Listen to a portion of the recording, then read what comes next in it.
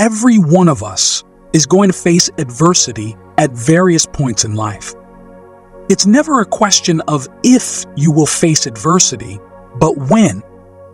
The Bible promises us in John chapter 16 verse 33 that in this world we will have tribulation, so it's a guarantee from God himself. It's not for us to shy away from hardships, but to lean into God more in such times. He is a God who will never leave us nor forsake us. In today's message, I want to share with you what I felt God deposited in my spirit for such situations. Your faith gets tested each time you go through adversity, not as a form of punishment, as some may think.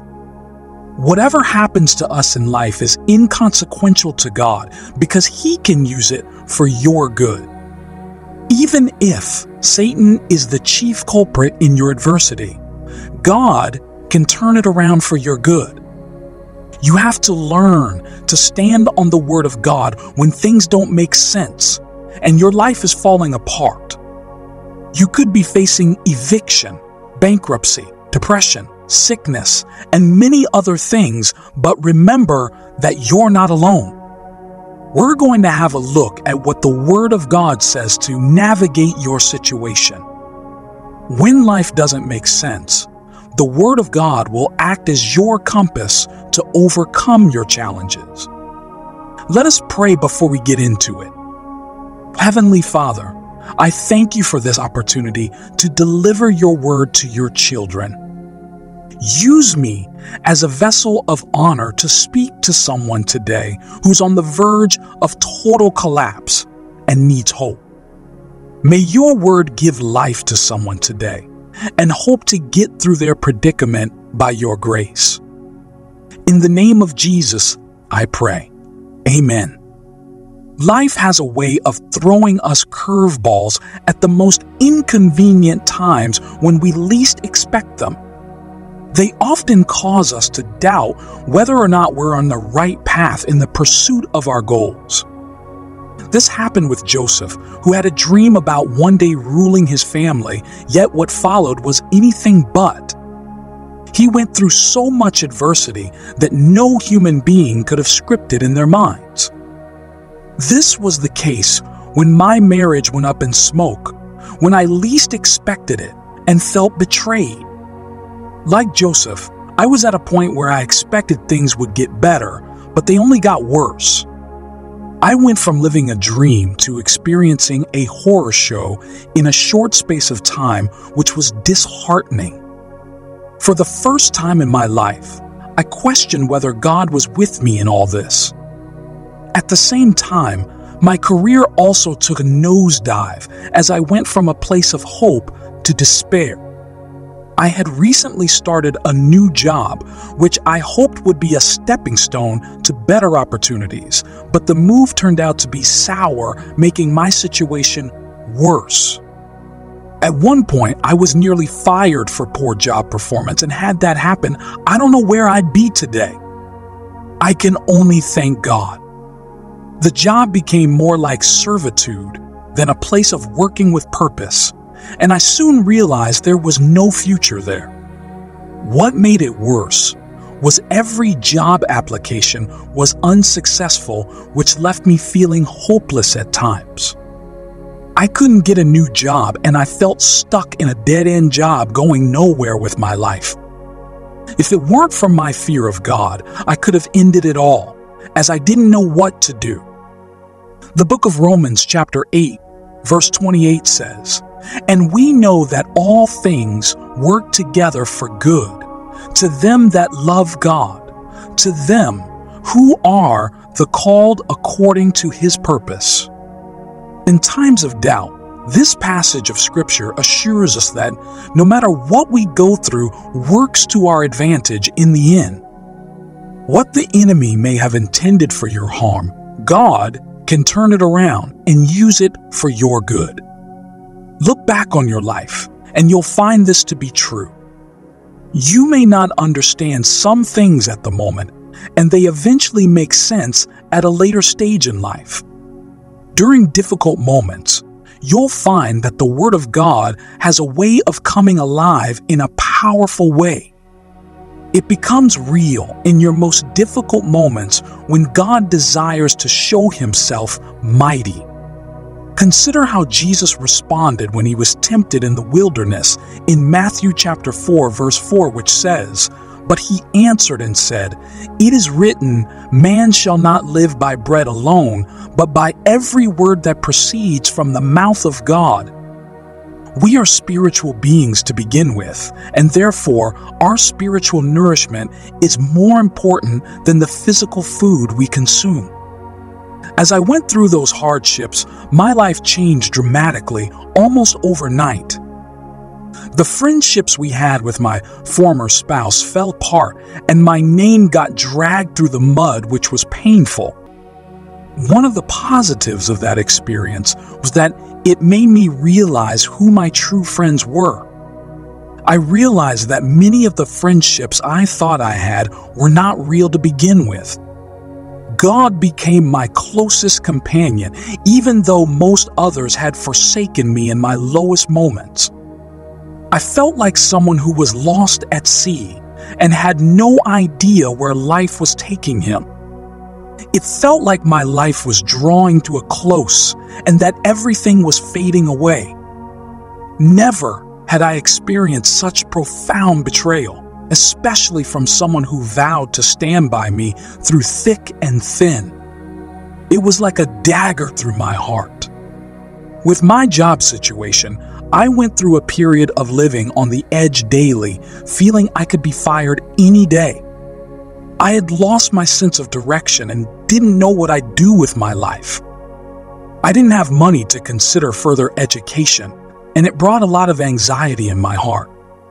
It felt like everything I had ever believed about my life was a falsehood at that difficult moment. As His Word says that He will never leave or forsake us, this proved to be true from day to day. While my situation didn't immediately change, I never went to bed hungry or destitute as God carried me.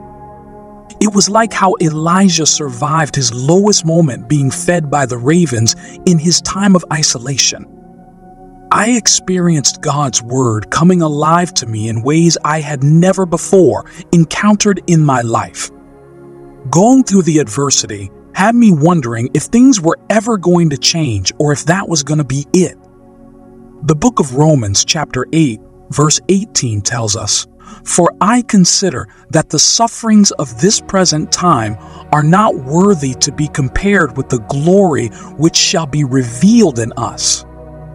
On the one hand, I looked at what God's promises said about my life, and on the other, I saw the opposite reality.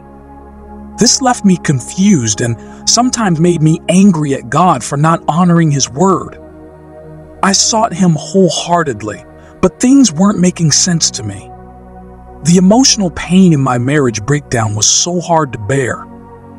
I had pledged before God and everyone that I would stay with my spouse through all of life's moments. I expected God to step in to bring about restoration, and it only got worse. It was important to me to honor my side of the commitment according to God's word. If we weren't going to be restored, at least I'd have played my part. I relied on God's teachings about marriage, which state that in cases of abandonment or infidelity, one is permitted to move forward. While other people discouraged me from doing so, I held fast to my faith even though I was tempted to cave in at times. I prayed for my rebellious spouse through it all until I felt God say it was enough, and I had a sense of peace that surpasses all understanding come over me. At my job, it felt as though the hardship was becoming unusual, as if there was a personal attack on my life. I value the importance of diligence in all endeavors, but this experience felt more akin to bondage than anything else. It became a situation of being overworked and underpaid, leaving me drained at the end of each day. Even as God guided me through that period, I felt ensnared and unsure of how to free myself. I applied for new jobs for more than a year, with a few potential opportunities coming up. I learned to pray more targeted prayers and fast more frequently than I was accustomed to. Consider what Matthew chapter 17 verses 19 to 21 says. Then the disciples came to Jesus privately and said, Why could we not cast it out? So Jesus said to them, Because of your unbelief. For assuredly, I say to you, if you have faith as a mustard seed, you will say to this mountain, Move from here to there, and it will move, and nothing will be impossible for you. However, this type can only be overcome through prayer and fasting. Truly, when we seek God, we will find Him when we seek Him with all our hearts. Saying my life began to change over time would be an understatement, especially when I shifted my focus towards Him. There was a noticeable shift in the spirit and the natural realm. 2 Timothy chapter 2 verses 11 to 13 reads, This is a faithful saying, for if we died with him, we shall also live with him. If we endure, we shall also reign with him. If we deny him, he also will deny us. If we are faithless, he remains faithful. He cannot deny himself. God's plans for my life became clearer, and I had hope for a better future once again as a result. At work, my hard hearted boss suddenly availed sales commissions for our department, which wasn't the case for a long time. This was pleasantly surprising to me that, as stubborn as he was, God moved him to do so. At that point, I was in a place of despair and wanted to give up on life. The extra income on top of my regular salary helped me to meet long standing objectives, which was satisfying.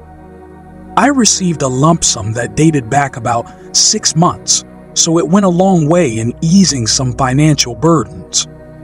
To honor God, I allocated a portion for a first fruit offering, which opened new doors for me. It took me a while to get accustomed to the new normal, but I certainly wasn't complaining. See, God was beginning to show himself in a mighty way, and my hope for the future was restored. It has been growing since then, month to month, as I've constantly committed it to the Lord. It's been amazing. See, God also gave me revelation, which was more of a blueprint of how to take my online business to the next level. To give context, by that point, it was already 11 years old without much success to show for it. This time, I saw a clear roadmap to follow, which inspired confidence, and I've been working on it since then. These are the kinds of things that happen when God shows up in our lives. While I was going through all this, I continued to serve in the house of the Lord despite my situation. I'd say that's part of what helped me to stay sane through all the adversity I was going through. It wasn't always easy, but it helped me to grow closer to the Lord. Serving in church helped me to heal in some ways by taking the focus off of my situation and helping others. I did pull back from some service departments that were very demanding that I couldn't handle in that season. However, I struck a good balance between serving and giving myself a chance to heal. If I had focused on myself during that time, it may have taken longer to recover from my heartbreak the book of Hebrews, chapter 10, verses 24 to 25 says, And let us consider one another in order to stir up love and good works, not forsaking the assembling of ourselves together, as is the manner of some, but exhorting one another, and so much the more as you see the day approaching.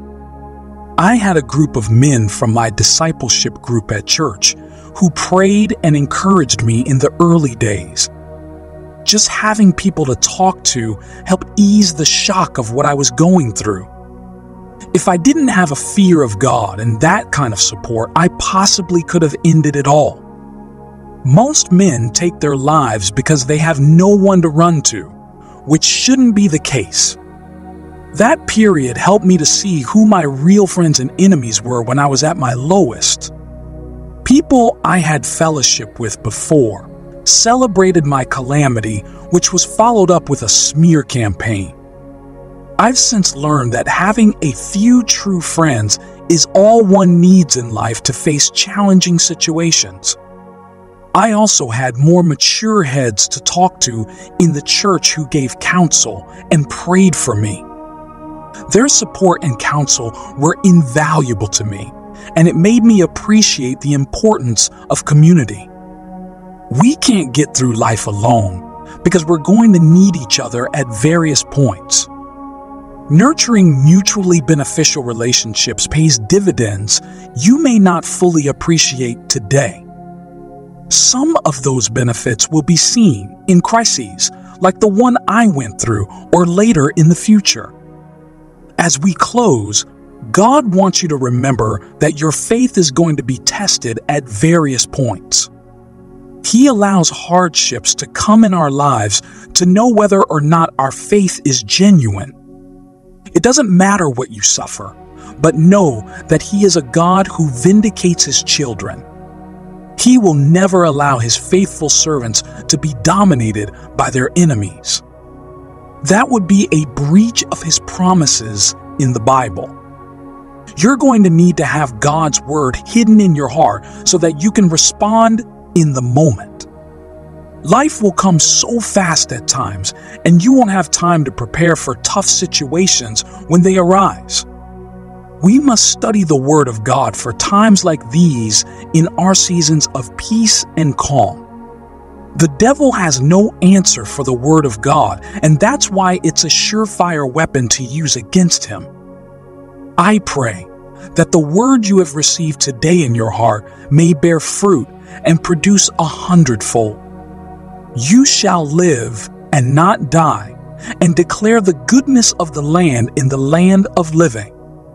You're still alive, and that means God has a plan and purpose for your future. Maybe you were close to giving up and taking your life, but God still has great things in store for you. He will never leave you nor forsake you. He has you in the palm of his hand and knows the end from the beginning.